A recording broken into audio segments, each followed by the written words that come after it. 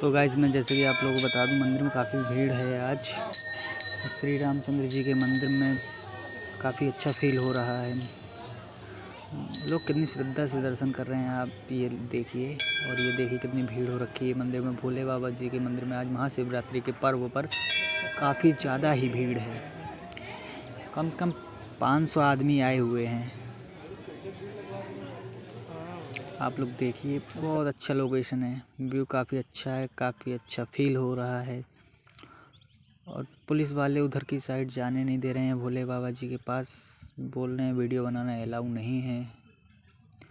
तो इसलिए हम लोग वहाँ नहीं जाएँगे। हम यहीं से अपना श्री रामचंद्र जी के मंदिर से ही लोकेशन दिखा रहे हैं।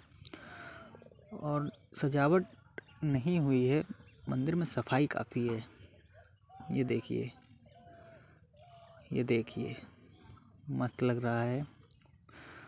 और एक साइड में लेडीज़ की लाइन है, एक साइड में जेंट्स की लाइन है। काफ़ी शिद्दत से लोग दर्शन कर रहे हैं, काफ़ी अच्छा फील हो रहा है।